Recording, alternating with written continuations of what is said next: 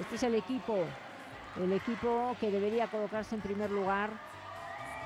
В составе команды по художественной гимнастике в групповом многоборье выступили две воспитанницы «Динамо Дмитров» – Мария Толкачева и Анастасия Татарева. Вместе со своими коллегами по команде Дарьей Клещевой, Анастасией Максимовой, Софьей Скоморох и Дианой Борисовой гимнастки обошли своих соперниц из Израиля и Белоруссии в упражнении с лентами с тремя булавами и двумя обручами. Серебро завоевала команда из Израиля, а бронзовую медаль – белорусские гимнастки. Наши гимнастки также сразились за медали в выступлениях отдельных видов. Превосходное исполнение упражнения с лентой принесло российским гимнасткам заветные золотые медали. А в упражнениях с обручами и булавами российская сборная допустила ошибку и заняла шестое место в финале. Ну, смотрел там третий состав, каких-то дисциплинах были там, ну, вообще не первые номера.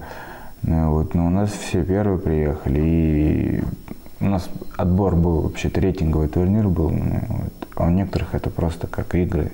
Ну, не рейтинг ничего не означает.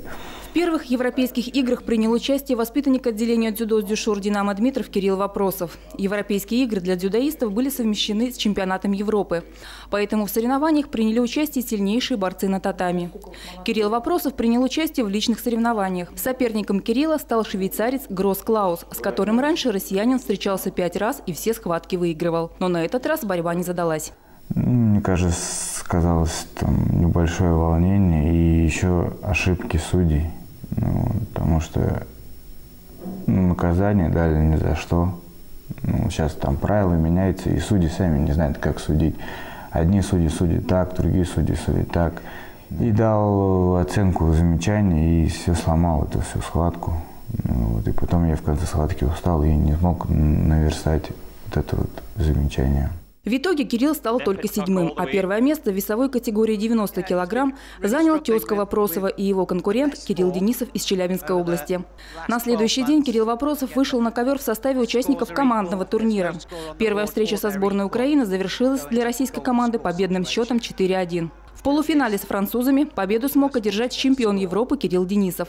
Четверо других наших ребят свои поединки проиграли. В финале наши обыграли немцев со счетом 3-2. Кирилл Вопросов выиграл свой поединок с немецким соперником.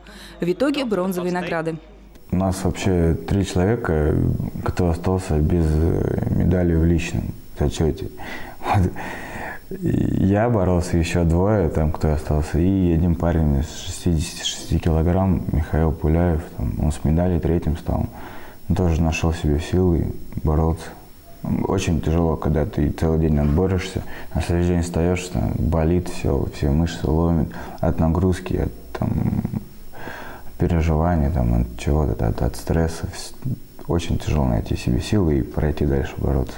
В настоящее время спортсмены «Динамо» Дмитров готовятся к новым международным стартам.